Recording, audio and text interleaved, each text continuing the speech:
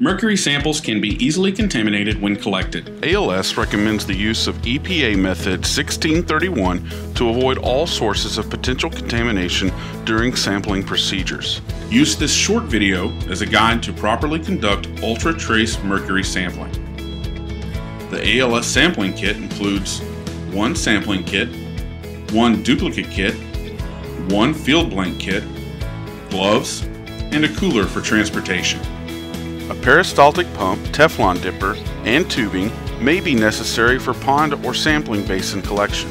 While ALS does not provide this equipment, our experts can provide advice and a recommendation on proper equipment. ALS recommends the use of Tyvek suits and face masks to reduce risks of sample contamination. Before sample collection, make sure to have two samplers available. The Clean Hands sampler is responsible for collection of the sample, while the Dirty Hands sampler is responsible for labeling and setup. To begin sampling, open the outer bag holding the sampling kit.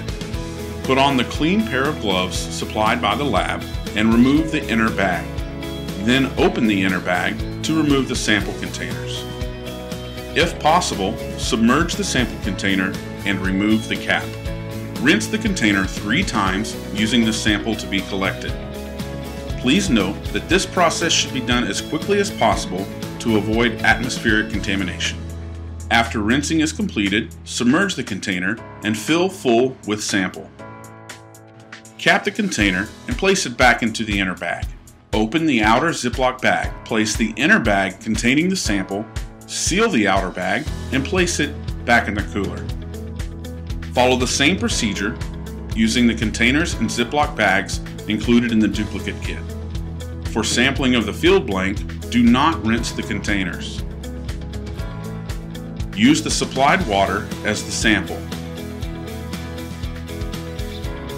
Cap the container and place it back into the bag along with the empty bottle. Place the collected samples in the cooler. Finally, use the chain of custody form to record the appropriate information regarding your specific project and ship your samples overnight to an ALS laboratory. For additional information, contact your ALS project manager or visit www.alsglobal.com.